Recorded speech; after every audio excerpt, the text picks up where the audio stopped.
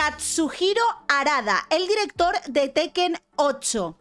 ¿Qué haces tan devasado por la vida? ¿Qué haces destruyendo progres a, estas, a esta buena hora de la mañana, de buena mañana? ¿Qué haces destruyendo progres así, nada más empezar el año y ya estando basadísimo? Bueno, chicos, necesito, yo necesito que este 2024 haya un cambio sustancial en cuanto a, pues eso, directores, productores, sobre todo me interesa, los progres eh, occidentales, a ver, están perdidos ya, los progres occidentales me refiero a los directores en general, no los progres, sino los directores, están acojonados de decir cosas, de decir lo que piensan. Entonces, sobre el tema del progresismo y sobre el tema de mm, cantarles las 40 a los niñatos de Twitter, ¿vale? Eso solamente se lo vamos a dejar a Frank Cuesta, ¿vale? Que lo hace bastante bien. Poner en su sitio a Progres. No sé si sabéis lo que ha pasado con Frank Cuesta y Felipe de 360. No sé si sabéis lo que ha pasado, pero es bastante jugosillo el asunto. Yo, la verdad, que lo llevo bastante, bastante al día todo el salseo. Pero bueno, no venimos a hablar de eso. No venimos a hablar de Frank Cuesta. Frank Cuesta pone a los progresistas en su sitio, igual que el director de Tekken 8, Katsuhiro Harada. Katsuhiro Harada de repente empezó el año siendo muy basado, dijo... ¿Hoy qué voy a hacer? Merendarme a un progre. ¿Por qué? Pues porque me apetece, porque puedo y porque quiero. Porque para eso, el día 26 de enero voy a estrenar el Tekken 8. Y el Tekken 8 se va a lanzar y está guapísimo y verlo todos, por favor. El caso es que un progresito decidió que había que echarle la bronca a Tekken, ¿vale? Así en general, porque no, no estaba el personaje de Eddie Gordo, ¿vale? No estaba el personaje de Eddie Gordo en, los, eh, en la presentación de los personajes, de todos los que van a salir, ni tampoco como DLC. no sé si en la primera tanda de DLCs o lo que sea, eh, tampoco salía el personaje de Eddie Gordo. Entonces, pues por supuesto, les llamó racistas. Y Katsuhiro Harada, estoy todo el rato leyendo el nombre porque obviamente no me lo voy a aprender, pero es un basadísimo. Eh, Katsuhiro Harada dijo, a ver, a ver, le metió un repaso, le metió un repaso tan glorioso, le hizo un setup gringo tan delicioso, unas lágrimas progres tan sabrosas para empezar este 2024, que es que a mí esto me parece una maravilla, así que dije, os lo tengo que poner porque Katsuhiro Harada es nuestro padre, chicos, es nuestro padre japonés, por lo menos el de esto, el de este mes de enero, ¿vale? Es nuestro padre japonés de enero. Bueno, vamos allá con la noticia porque no se quedó solamente en esto. No sé qué, aviso. Esto es solo el titular, porque os digo que en este caso Bounding into Comic lo que hace la historia es mejorar todo el rato, ¿vale? Dale, Leti. El director de Tekken 8 minutos, Kazuhiro Arada, critica al jugador occidental que lo acusó de racismo por la falta del DLC de Eric Oro. Leroy y Raven te patearán el trasero. Leroy y Raven te patearán el trasero. ¿Vale? Bien. Al ofrecer un Get Ahí está Raven. Es que, es que está muy guay porque es que se intentó, hacer el, se intentó hacer el que sabía mucho de Tekken y no sabía absolutamente nada de Tekken. Bueno, básicamente un poco lo que hacen todos los progres. O sea, intentar ser, intentar ser ellos los, los expertos en expertitud de absolutamente todo y pues Internet hizo su magia, básicamente bien merecido y digno de Eyachi a uno de los elementos más llamativos y poco serios del mercado del entretenimiento occidental. El director del juego Tekken 8, Kazuhiro Arada, ha respondido a una acusación infundada de racismo contra los negros al no doblegarse ante su crítico, sino más bien vituperar su argumento absurdo a la vista del público. Este intercambio de palabras comenzó el 3 de enero cuando el usuario de Twitter arroba TeamTiger16, descontento con el hecho de que el luchador de capoeira favorito de los fanáticos, Eric Goro, estuviera ausente de la lista base de la próxima octava entrada de la serie y sus planes de contenido posteriores al lanzamiento filtrados, recurrió a la plataforma de redes sociales e intentó utilizar la política de identidad para avergonzar a Arada y hacer que el personaje estuviera disponible de inmediato como DLC. O sea, básicamente a él se le puso en su huevo progre que tenía que estar, el personaje de, Eddie Gordo tenía que estar ya disponible en DLC, ¿vale? Y el director le dijo, Katsuhiro le dijo, te a mí te me relajas, ¿vale? A mí te me relajas, tú y tus tonterías progres aquí no, ¿vale? Aquí no van a funcionar. Vamos, increíble. La única razón por la que Eric Oro no ha sido revelado todavía es porque los creadores de arroba Tekken son racistas y no les importan los personajes negros o las personas de piel oscura. ¡Ah! no, por favor, es que no puedo, no puedo con estos comentarios, de verdad. Pero en serio, en serio. O O sea, sabiendo cómo está el patio, sabiendo que nadie, nadie os soporta. No te puedes, o sea, a día de hoy, tú no tienes que pensarte las cosas, porque la gente ya no tiene miedo. En este Twitter de hoy en día, la gente ya no se calla. Entonces ya no es porque te vayan a funar todo el mundo que te está funando, al subnormal este. No es que te vayan a funar todos los que te están funando, sino que es que te expones a que le toques los cojones a alguien pues con mayor relevancia, como por ejemplo el director de Tekken, y te diga, tú eres tonto, niño. Tú eres tonto o tus padres son hermanos. Vamos a ver. Te expones a eso. Es que te expones a que. Sí, todo el mundo te va a funar, pero es que es tal cual lo que le, lo que le pasó a Felipe 360 con Frank, ¿sabes? Es que es tal cual, es lo mismo. O sea, te hacen un comentario creyendo que te las vas a dar de guay, ¿sabes? Y de repente llega Frank Cuesta que está basadísimo. ¿pero dónde vas, niño? ¿Pero dónde vas, niñato? ¿A, ¿Tú a dónde vas? A ver, ¿a quién pretendes, a quién pretendes, eh, a quién pretendes dar una lección de qué? ¿De qué vas a dar tus lecciones? A ver, payaso.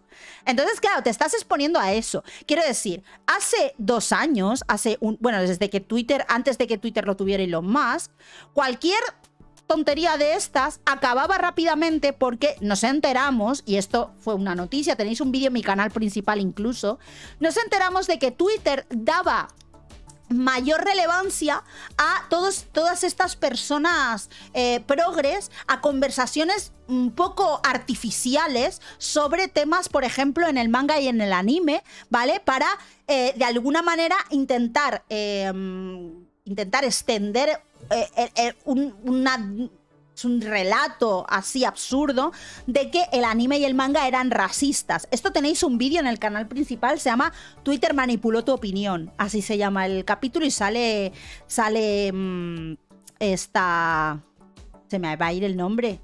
La niña esta, la, la, muchacha esta de las tetas grandes. De... Joder. El pelito corto gris. ¿Cómo se llama? Se me ha ido el nombre. Se me ha ido el nombre, pero ya sabéis a quién me refiero. Esta ¿Cómo se llama? Usaki, Usagi-chan. Eso, Usagi-chan. Sale Usagi-chan en la portada porque precisamente era de un tema de Usagi-chan, ¿vale? Bueno, pues el caso es que em, Twitter, esto todo lo vimos, salió y Elon Musk dijo que era verdad, ¿vale? Dijo que era verdad todas estas cosas que las sacó, me acuerdo, es que me acuerdo perfectamente de aquel caso, que lo sacó todo el asunto, lo sacó Nietzsche Gamer por unas informaciones que se habían, que se habían filtrado de los Twitter files y no sé qué, y Elon Musk le dijo a Nietzsche, a Nietzsche Gamer le dijo, esto es cierto, esta información es cierta, lo que estás diciendo es verdad, ¿vale? Bueno, pues el caso es que mm, hace dos años cuando uno tenía, no es que tuvieras miedo de opinar, pero desde luego, si tú le llevabas la contraria a un progre, eso no se iba a viralizar, o sea, eso se le iba a cortar, se le iba a sadobanear en el Twitter. En Twitter se iba a sadobanear o de entrada todas las cuentas que estuvieran en contra de, este delirio progre que contestaran, de entrada ya estaban sadobaneadas. Entonces, da igual que tú contestes porque eso no va a ir más allá. Pero ahora, con el nuevo Twitter en el que la opinión de todos vale lo mismo, ¿vale? Bueno, pues ahora sí que podemos... Em, de alguna manera ver que todas las opiniones valen, pues eso, pues valen lo mismo, ¿vale? Y ahora todos sí te van a funar, ¿vale? Y ahora ya están todos un poquito hasta los cojones. Entonces yo entiendo que el funcionamiento de Twitter de hace dos años fuera que ellos tuvieran las de ganar. De hecho, si decías algo eh, una palabra mínimamente baneable, pues se montaran un grupito en Telegram y fueran a tu tweet a tirarte la cuenta porque podían hacerlo. Esas personas tenían ese poder en Twitter. De hecho, muchas de ellas incluso eran privilegiados que incluso Twitter los seguía. El caso de Blissy, por ejemplo. Twitter seguía, Twitter España seguía a súper pocas personas y una de las cuentas que seguía era Blissy, casualmente. Entonces, este tipo de cosas ahora ya no van a suceder en Twitter. Entonces, cualquier eh, estupidez que pongas de entrada te va a funar un montón de gente, de entrada un montón de gente se va a poner a descojonarse de ti. Pero es que además lo que estás diciendo es mentira. Pero es que además si le tocas los cojones a alguien con mucha más relevancia que tú, pues todos nos vamos a hacer eco y nos vamos a reír de ti. Te vamos a señalar con el dedo y nos vamos a reír de ti. Es más, le vamos a decir a todos los que nos ven que te señalen con el dedo y se rían todos de ti porque eres tontísimo. Es así, es así y el progresismo, al menos en Twitter, se acabó. Se acabó, se acabó el hacerse el progre en Twitter. ¿Por qué? Porque no tenéis las de ganar. ¿Por qué? Porque la opinión de todos ahora vale igual y os habéis dado cuenta que es que eh, hay mucha más gente que piensa como nosotros de lo que os creíais. Entonces, yo lo siento, pero hasta aquí llegaron vuestras tonterías, progres. Acusó el usuario, teniendo especial cuidado en etiquetar tanto a Arada como a su personal. Cuentas oficiales de Twitter de Tekken, así que pasará un tiempo hasta que salgan los verdaderos luchadores en lugar de estos blancos, latinos y asiáticos arroba arada-tekken. Ante la obvia observación de arroba duran 706609996 de que su acusación solo tenía sentido si uno fingía que Leroy y Raven nunca existieron en la lista base de Tekken 8, arroba Team Tiger 16 luego reveló que, en lugar de cualquier pretensión de preocupación real con respecto a la representación, simplemente estaba usando la retórica de la política de identidad para avanzar en su propio objetivo de ver a luchadores de piel oscura del pasado como Eddie, Bruce Oven y Armor King regresar al redil de la lucha. O sea, es que solamente estoy haciéndome el progre. Ahora solo se está haciendo el progre, ¿vale? Es que solo estoy usando las políticas identitarias para que pongan a Eddie gordo, que es lo que yo quiero. Ah, no, no me importan estos nuevos personajes negros. ¿Nuevos? ¡Nuevos! Raven no es nuevo. Perdona. Es que veis cómo son gilipollas, es que son tontísimos, tío. Es que son muy tontos. Raven salió por primera vez en el Tekken 5 que se eh, publicó en 2004 hace ya 20 años. ¿Cómo que personajes nuevos? ¿Qué coño dices? Raven no es un personaje nuevo, ¿veis cómo no? Es que no, es que cualquier gilipollez, cualquier gilipollez se les puede rebatir porque son idiotas. Es que son idiotas, tío. En fin. Tío, Estoy hablando de Bruce y Armor King. Ah. ¿Dónde has estado los últimos 10 años? Vale, es que quiere que pongan a Armor King. Ah, es que claro, Armor King se le ve muy bien racializado con su, con su máscara, ¿sabes? Se le ve un montón, ya sabemos. Claro, es que es, verdad que se me olvidaba, es un gringo y los gringos mm, quieren racializar a todos los hispanos, ¿vale? Entonces, claro, es que él quería Armor King. Y si sale, pero si sale King, sale King, seguramente salga King, ¿no? A lo mejor Armor King no, pero King a lo mejor sí sale. No le vale con King, tiene que ser Armor King también, vale. Sin embargo, a diferencia de muchos desarrolladores occidentales. Si sale Armor King. O sea que ni. No te sirve, es que no te sirve el argumento. ¿Ves cómo eres tonto? Sale King, pues ya está, cállate la boca. Cállate la boca. Es que, tío. Se negó incluso a considerar las descaradas tonterías de arroba Team Tiger 16. Al retuitear el tuit inicial de su crítico, el veterano supervisor de la franquicia declaró, si crees que puedes reclamar algo de esa manera y pasará, estás equivocado. Si crees que puedes reclamar algo con el wokismo, es que es así, es que lo está diciendo tal cual. Si tú crees que te puedes poner progre y que te voy a hacer caso, o sea, vete olvidando, ¿eh? Te me vas olvidando de la tontería, amigo. Te me vas olvidando. Bien. Leroy y Raven te patearán el trasero. ¿Eh? Procediendo a desmantelar la idea de representación basada en rasgos inmutables, Arada continuó, ahora que lo pienso, no hay personajes japoneses en los dramas y películas estadounidenses que amo, pero nunca me he sentido discriminado por eso. Vaya, vaya pateada termonuclear, ¿no? Vaya papeada, perdón, vaya papeada termonuclear, amigo. ¿Eh? Es que claro, si yo, que soy japonés, me pongo a mirar todas las películas que me gustan y me pongo en plan progre, oye, que es que no hay ningún japonés en ninguna película que a mí me guste. Y me pongo a llorar por ahí, no, es que son películas que me gustan. Cállate la boca. Cállate la boca, que eres tontísimo. Es que, papeada termonuclear, me encantó esto, ¿eh? Me encantó este señor basadísimo. ¿Cuál crees que es la diferencia crucial entre tú y yo?